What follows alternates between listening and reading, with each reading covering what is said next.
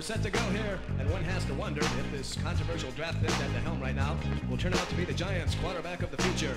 They're 0-3 right now and have Phil Simms in there for the first time ever, with all the pressure and criticism any New York quarterback could have. Okay, the Giants are all lined up and ready to go. Phil Simms at the control.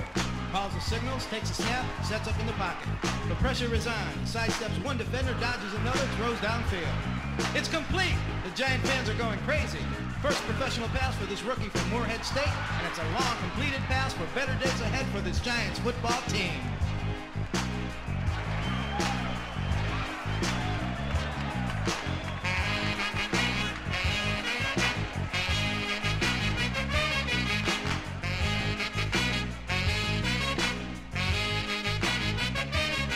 It was a bruising battered team, with despair as it came off the bench, and he filled the air. He had 11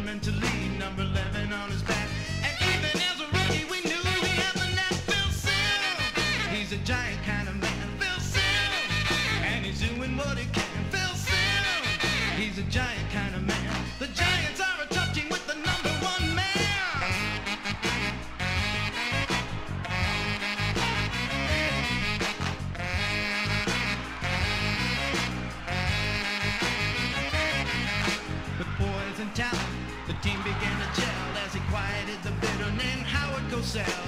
He beat some of the best smooth and defiantly as he led the blue and white team giantly. Phil Simms, he's a giant kind of man. Phil Simms, and he's doing what he can. Phil Simms, he's a giant kind of man. The Giants are team with the number one man. Man, this place is going wild. Players themselves are related. This is the fourth win in a row for Phil Simms and the Giants, and it has the players and fans extremely positive about their future. Phil Simms has played superbly so far, turned this season around. He's looked nothing like a rookie, actually beat a few playoff teams. If these performances are any indication of what is to be, then the Giants are on their way to being a playoff and a possible Super Bowl team. Amen. With poise and talent, He beat some of the best smooth and defiantly as he led the blue and white team giantly.